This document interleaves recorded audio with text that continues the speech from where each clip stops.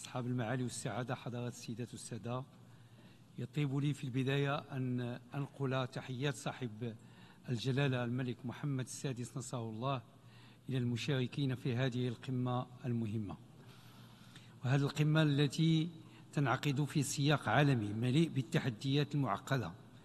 لذلك فهي تمثل فرصة فريدة من نوعها لتجديد تمسكنا بميثاق الأمم المتحدة وإعادة تأكيد التزامنا الجماعي بالعمل على بث دينامية جديدة في نظام تعددية الأطراف وذلك لتحقيق مستقبل أفضل ومستدام للحاضر وللأجيال القادمة.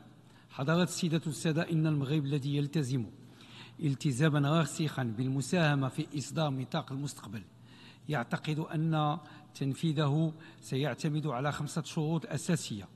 أولا من الضروري وضع السلام والاستقرار والتنمية في صلب عملنا الجماعي. فلا مجال لتحقيق تنمية مستدامة. بدون بيئة تضمن السلام ولا يمكن أن يكون هناك سلام واستقرار دون تحقيق تقدم اقتصادي واجتماعي.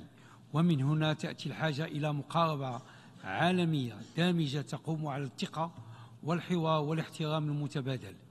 ثانيا يجب أن يرتكز تجديد العمل متعدد الأطراف على إرادة سياسية حقيقية للعمل بشكل جماعي إذ نحن مدعوون أيضا إلى تعزيز الحلول الدامجة القائمة على الإنصاف والشرعية والتضامن. وفي هذا الصدد أكد صاحب جلالة الملك محمد السادس نصر الله في رسالته إلى المشاركين في الاجتماعات السنوية لمجموعة البنك الدولي وصندوق النقد الدولي التي انعقدت في مراكش أن التطورات الاقتصادية والاجتماعية والسياسية التي شهدتها السنوات الأخيرة تستدعي إصلاح المؤسسات والقواعد التي تحكم نظام تعددية الأطراف. ثانيا يجب وضع إفريقيا في صلب أولويات عمل الأمم المتحدة والإجراءات المتخذة من طرفها وهنا نتساءل ألا تمثل إفريقيا معيارا لقياس فعالية التعاون التنموي وتعبئتها الجماعية لصالح المثل العليا للسلام والاستقرار والتنمية في مختلف أنحاء العالم. لذلك نحن مدعوون أكثر من أي وقت مضى لمساعدة إفريقيا على تحويل التحديات الحالية التي تواجهها إلى فرص لتحقيق التنمية.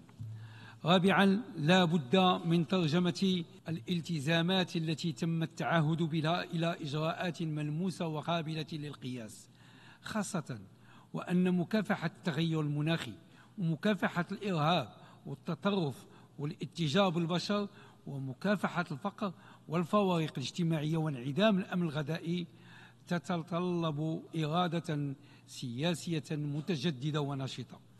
وفيما يتعلق بالمناخ تجدر الإشارة أن المغرب رفع سقف طموحاته عبر تحديد هدف جديد يتمثل في خفض انبعاثات الغاز الدفيئة بنسبة 45.5% بحلول عام 2030 ويهدف المغرب أيضا إلى زيادة حجم الاستثمار في الطاقات المتجددة بما في ذلك الإيدروجين الأخضر لدعم تحقيق الهدف المحدد في تجاوز 52% من حصة الطاقة النظيفة في مزيج الكهرباء بحلول 2030 وهي الجهود نفسها التي تبذل في مجال الحماية الاجتماعية وتعزيز السيادة الغذائية والصحية كما أكد صاحب جلالة الملك محمد السادس نصره الله في خطاب العرش الأخير قول صاحب الجلالة إنما حققناه يعطينا الثقة في الذات